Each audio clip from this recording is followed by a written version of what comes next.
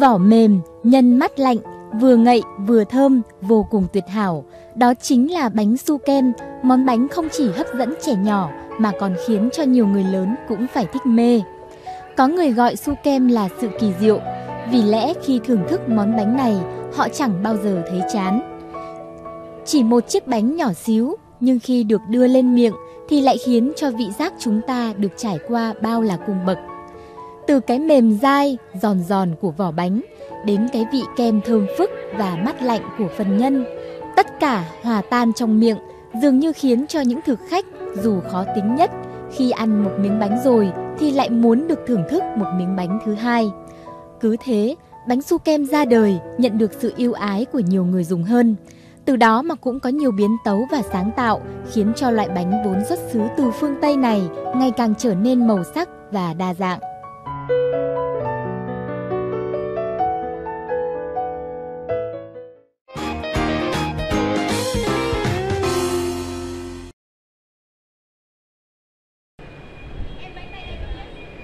Không khó để tìm thấy giữa Sài Gòn những tiệm bánh su kem như thế này. Tuy nhiên, để tìm được một địa điểm trực tiếp làm bánh su kem, nơi khách hàng có thể dừng chân thưởng thức hay chỉ đơn giản là mua về cho mình những hộp bánh su kem tươi ngon, đảm bảo mới ra lò thì quả không là điều dễ. Nghề làm bánh su kem đến với chị Ngọc Hiếu và gia đình cũng thật tình cờ. Khi chị một lần được thưởng thức qua loại bánh này và lập tức bị cuốn hút bởi vị bánh ngon ngọt, tạo sảng khoái và giúp chị tự tin nghĩ mình có thể chế biến ra một vị nhân kem ngon hơn. Đặc biệt, khi tìm hiểu, bạn sẽ thấy su kem là một loại bánh khá dễ làm, chỉ cần vài nguyên liệu đơn giản như 150g bơ, 150g dầu ăn, 100g bột mì, 1 lít nước 1 lít sữa tươi, 16 quả trứng gà và một nhúm muối là bạn có thể làm ra một bữa tiệc bánh su kem cho gia đình và bạn bè thưởng thức. Khâu làm bánh su kem được chia làm hai giai đoạn. Giai đoạn 1, thực hiện phần vỏ bánh. Đầu tiên, bạn cần cho một cái nồi lên cân rồi lần lượt bỏ nguyên liệu vào nồi theo trọng lượng vừa đủ. Một chút muối, 150g bơ và 150g dầu ăn.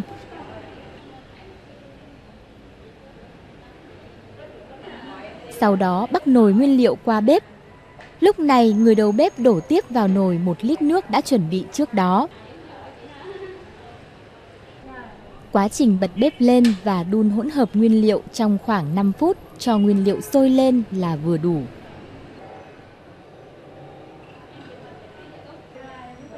Trong khoảng thời gian này, bạn hãy chuẩn bị phần bột mì của mình rây qua rây rồi đổ trực tiếp vào nồi nguyên liệu.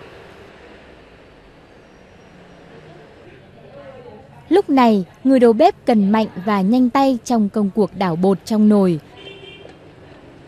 nhằm giúp cho bột hòa quyện với hỗn hợp bơ, nước, muối trước đó mà vẫn không bị cháy hoặc bị vón cục. Khi đảo liên tục như vậy thì lửa cũng cần nhỏ lại để tránh những sơ suất trên. Cứ thế thật đều tay cho tới khi bột trở nên nhiễu lại toàn bộ, thường sẽ mất khoảng 10 phút. Sau đó thì chúng ta có thể tắt bếp và chờ cho bột nguội bằng cách nhờ công dụng của quạt máy chuyên dụng như thế này.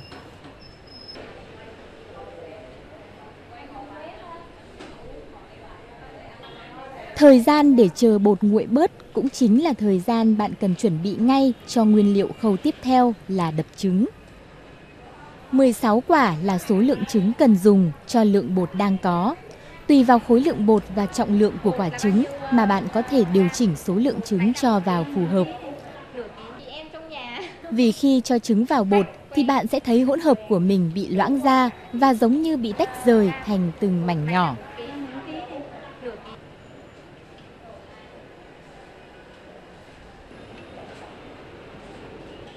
Nếu có sự hỗ trợ đắc lực từ máy đánh bột như thế này thì lo lắng trên của bạn sẽ được giải quyết một cách đáng kể. Dưới sức mạnh của máy đánh, bột và trứng sẽ dần hòa quyện đặc quánh lại và cuối cùng tạo thành một dạng hỗn hợp bóng mịn. Người đầu bếp chia sẻ, bột quấy đạt là loại bột mà khi các bạn nhấc thìa lên, bột sẽ rơi xuống theo kiểu đứt đoạn và tạo mảng. Mà để được như vậy thì nhất thiết khâu đánh bột phải kéo dài hơn 5 phút. Đến đây thì bột đã xong. Và bạn đã có thể cho hỗn hợp bột vàng tươi, mềm mịn và thơm lừng mùi bơ sữa ấy vào một cái túi bắt kem và chuẩn bị bắt bột thành hình khối. Bạn là một người ưa nấu ăn và sáng tạo thì đừng chần chừ gì mà không sắm cho mình nhiều loại đuôi bắt bông khác nhau để có thể bắt bột tạo hình thành nhiều dạng hoa, lá, xoắn ốc như ý muốn. Đến lúc này thì tạm dừng chút để thực hiện giai đoạn 2, thực hiện phần nhân bánh. Cái nhân này nó toàn bộ là sữa tươi 100%, cho nên trẻ em ăn rất là thích hợp. Cái nhân nó rất là quan trọng mình nghiên cứu mình thêm này thêm kia thêm bớt chút đỉnh vậy đó mình ăn mình cảm thấy là vừa ý ngon miệng thì từ đó mình mở ra kinh doanh chơi chơi thôi mà cũng thấy nhiều người ủng hộ Đừng nhầm tưởng hỗn hợp này là phần vỏ đã thực hiện ở trên. Đây chính xác là phần nhân bánh đã được bà chủ chế biến trước đó theo công thức riêng biệt của cửa hàng, rồi sau đó đổ sẵn vào túi bọc như thế này.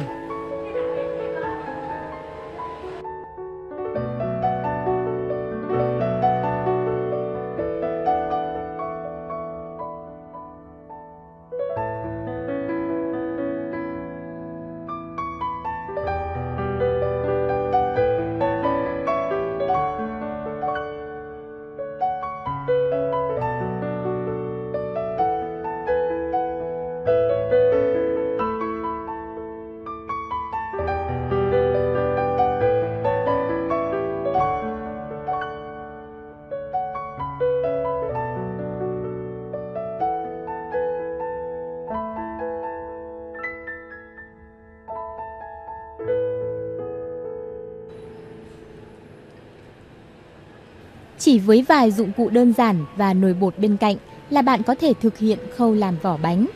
Lót giấy nến lên khay nướng bánh và bơm hỗn hợp bột bánh. Bạn nhớ bơm bánh với khoảng cách tương đối xa để khi nướng bánh chúng không bị nở dính vào nhau. Ở đây, người đầu bếp tạo hình những chiếc bánh theo hình dài, chữ nhật. Dễ dàng ư, không hề. Người trong nghề cũng còn phải nhận định khâu nặn bánh cũng là khâu khó nhằn, không kém gì khâu làm nhân. Rồi công đoạn nặng bánh như thế này Mình phải nặng rất khéo tay không, ấy là cái bánh nó xấu lắm. Ừ, Nhìn không có bắt mắt. Khi mà mình nặng cái bánh này xong rồi mình cho lên vỉ, Mình do vào lò nướng khoảng 20 phút Là cái bánh nó đã chín. Sau đó rồi mình phải cắt bánh ra. Đặng mình cho kem vào. Kem vào vừa đủ. Nếu mà nhiều quá nó sẽ tràn ra cái bánh trông không đẹp.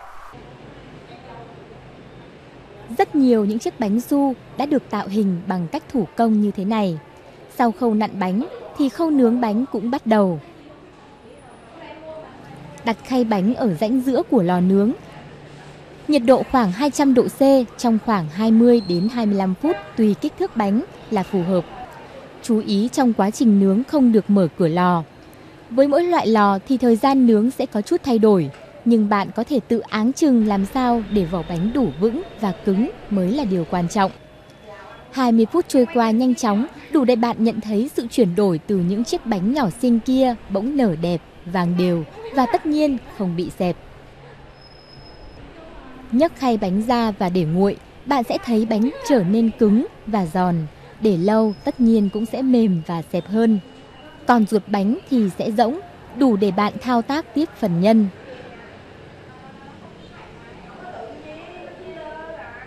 Nhưng trước hết thì hãy dùng kéo rạch một đường quanh bụng bánh. Việc rạch bụng bánh quá lớn cũng sẽ khiến kem cho vào bị tràn ra ngoài, khiến chiếc bánh không được đẹp mắt.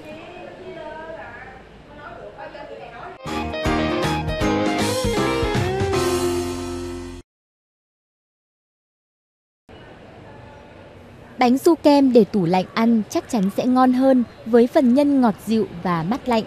Việc để bánh trong ngăn mát tủ lạnh còn khiến bánh để được vài ngày. Hoặc bạn cũng có thể làm sẵn phần vỏ bánh rồi để đông lạnh.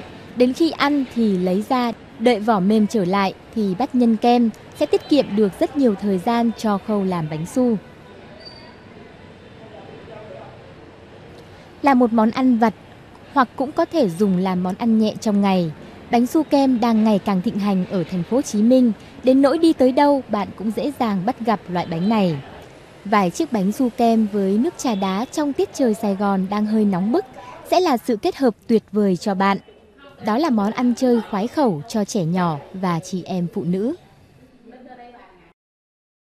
Tôi thì lớn tuổi thành ra ăn cái bánh này nó mềm, nó dễ ăn và dễ tiêu hóa.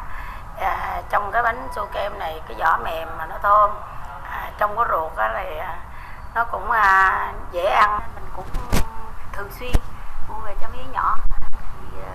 Bánh thì tại nó nó cũng mềm mà nó cũng thơm, nó béo nên, nên mấy đứa nhỏ rất là thích. Đi vắng ngoại đi đồ thì mình hay mua hay sách đi đi chơi. Ở nhà cũng có ở nhà ba mẹ cũng thích ăn với đứa nhỏ ở nhà cũng thích ăn. Thấy bánh này là mua về nhà là cháu tôi thích ăn nhất. Nhưng mà nó nói nó ngon vừa ngon mà vừa béo mà mềm nó dễ ăn. À, cháu và con tôi là ưa nhất. Bánh su kem ra lò có đầy đặn không là do khâu nướng bánh, nhưng để bánh lên dĩa được bắt mắt hơn là còn nhờ vào khâu trang trí. Bạn có thể rắc thêm lên những chiếc bánh này sô-cô-la và hạt cốm màu sắc để tạo điểm nhấn cho món ăn. Bánh có, nước có, trái cây có, bạn bè và gia đình quần quanh. Những chiếc bánh su kem cứ thế tiếp theo những câu chuyện tưởng như không có hồi kết. Điểm hấp dẫn nhất của bánh su kem là lớp vỏ giòn vừa bên ngoài và phần nhân chứa kem ngọt mát, dẻo mịn chứ không đặc bột bên trong. Nhiều người lo ngại loại bánh này ăn vào sẽ gây béo và không tốt cho trẻ em cũng như người lớn tuổi. Nhưng thực chất, loại bánh này ít đường và cũng không béo nhiều. Ăn một cách hợp lý còn rất tốt cho sức khỏe người dùng. Cái bánh này thường xuyên mua về nhà ăn tại vì tôi thấy cái độ ngọt nó không có cao. Và theo cái sự hiểu biết của tôi thì nó không có dùng đường nhiều. Sữa với lại um, trong có trứng đồ này kia thành ra tôi thấy rằng à, tôi không có lo. À, tôi ăn á, thì tôi cũng ăn ít nhưng mà nó ngon mình cũng không sợ mập cũng ăn bình thường. Cái bánh ngọt thì mình cũng hay ăn nhưng mà cũng phải tùy tùy loại bánh. Nếu như mà nó quá ngọt hay là nó nhiều thành phần béo quá thì mình cũng hạn chế. Nhưng mà còn giống như là cái bánh xô này gia đình cũng hay hay mua về ăn bởi vì thành phần của nó chủ yếu chỉ là bơ bơ sữa tươi và đường. Thì bơ thì nó ít thôi cho nên cái lượng béo của nó cũng không có phải là nhiều. Ăn vô thì nó cũng tốt cho sức khỏe nữa. Bản thân được làm từ những nguyên liệu rất dung dị nên loại bánh này dễ dàng được chế biến và thưởng thức bởi tất cả mọi người. Thế nhưng, chính những điều dung dị, tưởng chừng như bình thường đó lại đang tạo nên những dư vị khó quên, thơm mát và lan tỏa quanh chiếc bánh có tên gọi bánh su kem.